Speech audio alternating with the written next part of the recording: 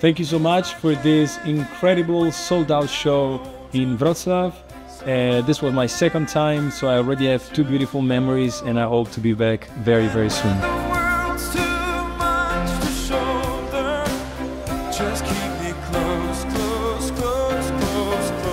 When I was walking through Wrocław, one of the things that I enjoyed the most were seeing all these little elves on the street.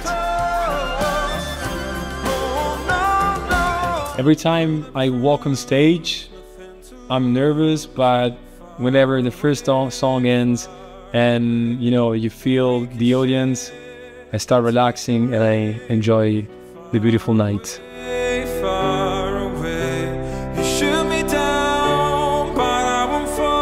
When I see people enjoying my concert is the thing that feels the most my heart because obviously you know we make music for for ourselves.